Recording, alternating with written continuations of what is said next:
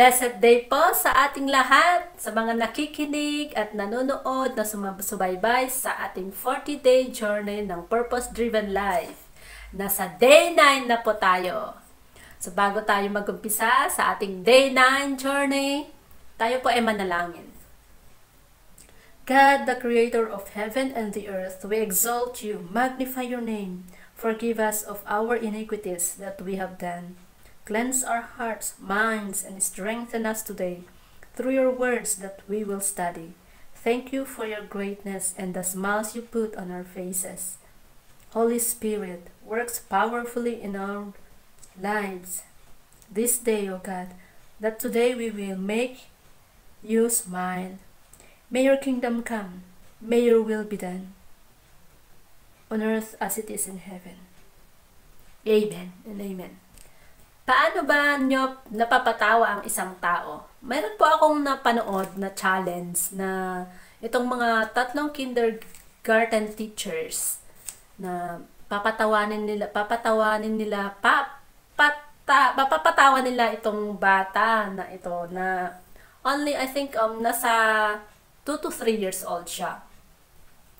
So inilagay siya sa gitna at at kailangan nilang mapatawa. They have given a certain time to do that. So, talagang itong batang to hindi talaga mapatawa. At sadly, hindi nga nila napatawa. Napaiyak pa nga nila sa ginagawa nila. Ako ang natatawa nga sa mga ginagawa nila. Ako kasi madali akong mapatawa. So, what makes you smile? So, ating day 9 na lesson natin ngayon, ang title niya ay What makes God smile? So let us read Psalm 147, 11 in Contemporary English Version. The Lord is pleased with those who worship Him and trust His love. Okay. The smile of God is the goal of our life. When He is pleased, He smiles. Since pleasing is the first purpose of our life, so let us see Noah. Noah was the pleasure to the Lord. He makes God smile. So from the life of Noah, we will study the five acts of worship that makes God smile. So number one, God smile when we love Him supremely ano ba, supremely. Siya lang ang ating mahal supremely. So, Noah loved God more than anything. So, Noah loved God more than anything else. Wala na. Even his, mas love pa niya si Lord kasi yung family niya, mga anak niya, asawa, yung asawa niya. So, Noah consistent, consistently followed God. So, learning the love of God and be loved by Him should be the greatest objective of our life. So Noah loved God supremely. So number two, God smiles when we trust Him completely. Our trust is should be complete, not half-half, not today, tomorrow, no more. So Noah trusted God completely, even it didn't make sense. God said to him, Build an ark, and he did without any question. Nung sinabi sa kanya ni Lord, build an ark, he did it without any question.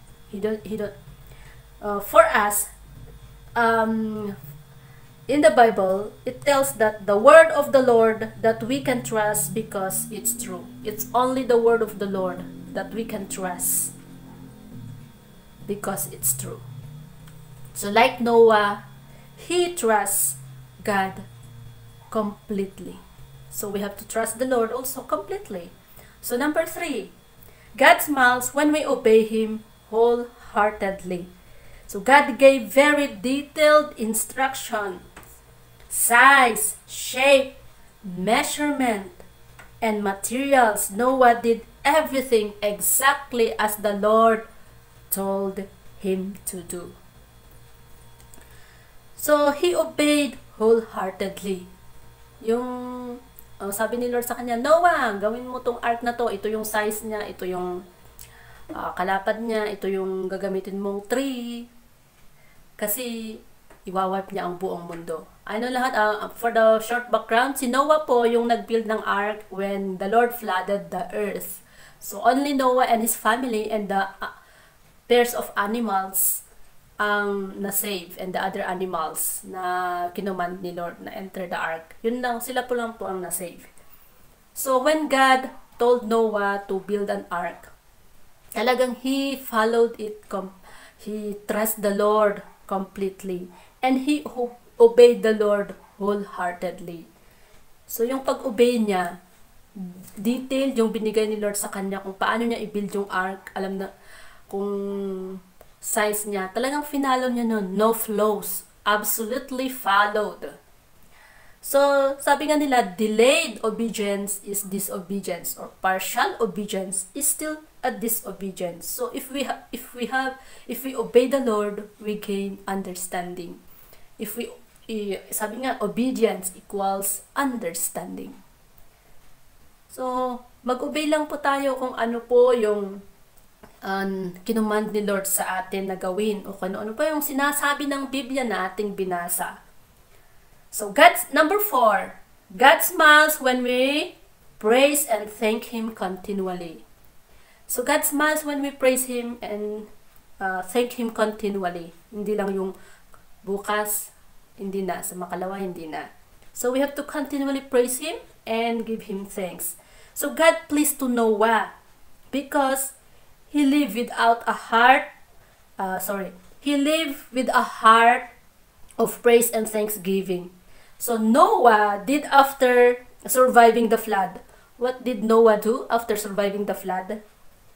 Sabi ng Bible, Then Noah built an altar to the Lord and sacrifice burnt offerings. Yun yung first na ginawa ni Noah after ng surviving from the flood. So, he built an art, altar. Tayo naman, after nung na-lift up, after tong pandemic na to, ano ba yung una natin ginawa? Namasyal agad, ba? Or did we thank the Lord and made an al uh, made an altar and offer to Him a praise? Yung altar kasi hindi na ngayon yung binibuild natin. So, anywhere. So, After yung two years na pandemic natin, we build an altar to the Lord? Did we give Him praise and thanksgiving? Okay, so ano ba yung number five na ginawa ni Noah? So, God smile when we use our abilities. So, after the flood, God gave Noah these simple instructions. Be fruitful and increase in number and fill the earth. So, ginawa po yun ni, ginawa po nila yon. They have to toil, to work on the ground. They have to use the abilities that God have given them, has, has given them. So work. So every one of us has ability Use it for God's glory. Hindi lang isang ability natin, marami abilities. So use it for God's glory. Every act of enjoyment becomes an act of worship when we thank God for it. So lahat ng mga ginagawa natin, if we give thanks to the Lord for that, it is an offer of, it, it, it is an act of worship. Yun po. So, isummarize po natin ang uh, mga limang natutunan natin sa buhay ni Noah kung bakit si Noah he makes God he made God smile at paano natin ganito din ang gawin natin? So that God will smile we will make God smile. So ano yung number one? God when we love Him uh, supremely. Yung number two natin is trust Him completely. Yung number three natin is obey Him wholeheartedly. At yung number 4 natin is praise and thank Him continually. And number 5 natin is use our abilities. Okay, yan po ang ating day 9. Tapos na po. Sana po mapapangiti natin ang Diyos ngayong umaga. So bago tayo magtapos, meron po tayong question na sasagutin. At pwede nyo pong i-comment ang inyong answer. So, day 9, Thinking About My Purpose. Ang title ng day 9 natin is What Makes God Smile? And this is the thinking about. But let's think about our purpose. We have point to ponder. God smiles when I trust Him. So, verse to remember, the Lord is pleased with those who worship Him and trust His love. Psalm 147, 11. So, we have two questions to consider. You can comment your answers. So, since God knows what is best, in what areas of my life do I need to trust Him most? May the Lord smile on you. So let us pray. Salamat po Lord sa aming natutunan today. We make that we make you smile every day as we journey our life on earth. We love you Lord and uh, help us to do these five things that makes you smile as Noah did. So Lord, give us that a heart like Noah has the heart, O God, that love you completely, trust you wholeheartedly, obey you, O God, wholeheartedly.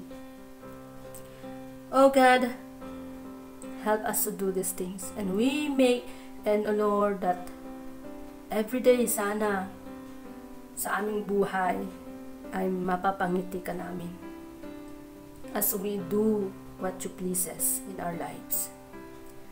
Lord, Help us also to do your will in our lives. Thank you, Father, for your word. And we give you all the glory, the honor, the adoration, and praises in the most powerful name of Jesus Christ our Lord. Amen and amen.